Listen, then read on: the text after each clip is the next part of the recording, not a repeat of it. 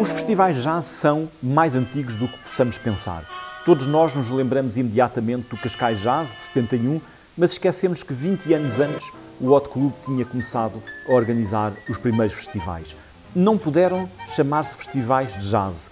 O Estado Novo, dizia-me Augusto Maier, fotógrafo, quando era vivo, e que foi responsável por esses festivais do, do, do Hot Club, dizia-me Augusto Maier que o Estado Novo, enfim, os organismos administrativos, diziam que podia ser um festival, mas não podia ser jazz. Esses festivais foram designados festivais de música moderna.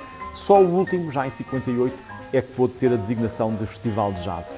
Portanto, são os avós dos atuais festivais de jazz. É evidente que a partir de 71 o Cascais Jazz e depois, nos anos 80, o Jazz em Agosto, que é um festival muito importante porque denota a institucionalização do, do Festival de Jazz como algo que passa a ser cuidado por uma fundação muito importante na cultura nacional e a partir dos anos 90 há um boom.